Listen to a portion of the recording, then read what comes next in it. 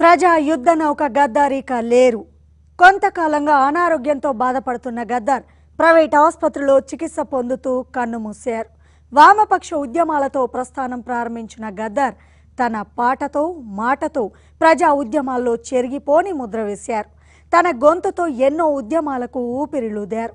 హత్యాయత్నం తర్వాత తన శరీరంలో తూటా ఉన్నా ఆరోగ్యం సహకరించకున్నా ఉద్యమ పంథాను వీడలేదు. జీవిత చరమాంకంలో అనారోగ్యంతో బాధపడుతూ తుది శ్వాస విడిచారు.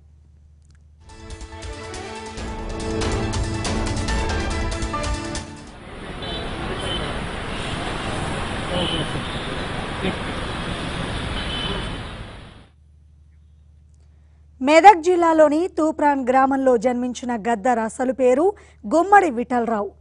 లచ్చమ్మ శేషయ్య దంపతులకు పంతొమ్మిది వందల నలభై తొమ్మిదిలో జన్మించిన గద్దర్ మొదట నిజామాబాద్ జిల్లా మహబూబ్ నగర్లో విద్యనభ్యసించారు. ఆ తర్వాత హైదరాబాద్ ఓయూలో ఇంజనీరింగ్ పూర్తి చేశారు. పంతొమ్మిది వందల అరవై తొమ్మిది తెలంగాణ ఉద్యమంలో గద్దర్ చురుగ్గా పాల్గొన్నారు. ఉద్యమ ప్రచారం కోసం ఊరూరా తిరిగారు.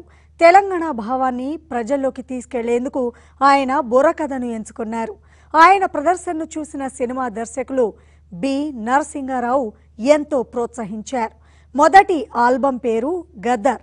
దాంతో విఠలరావు పేరు ఆ తర్వాత గద్దర్గా స్థిరపడింది.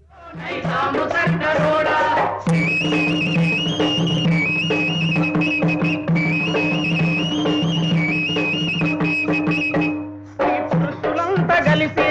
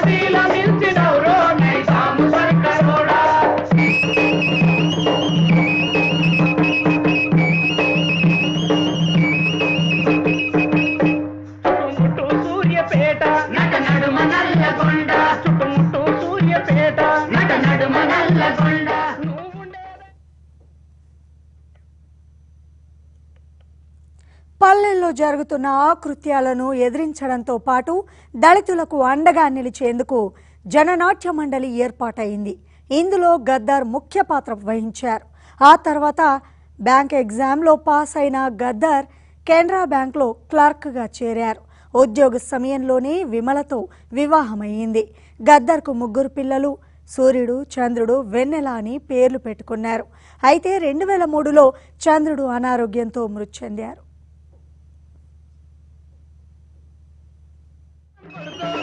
బండెనక బండి గట్ట పదహారు బళ్ళు గట్ట ఏ బండ్లే వస్తావు కొడుకో Nizam సరుకరోడా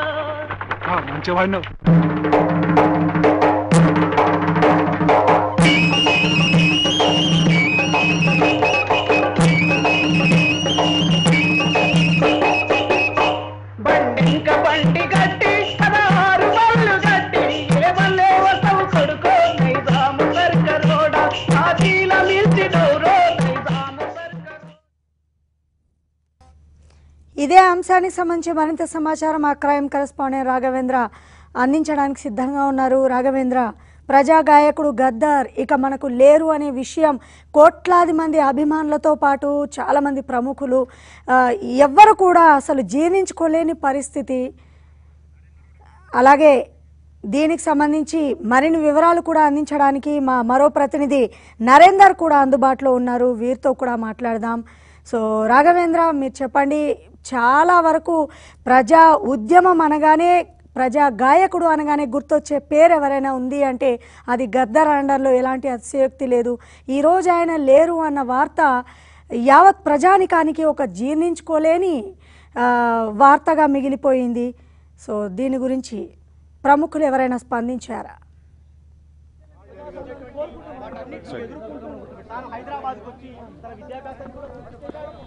Hello hello check check one two three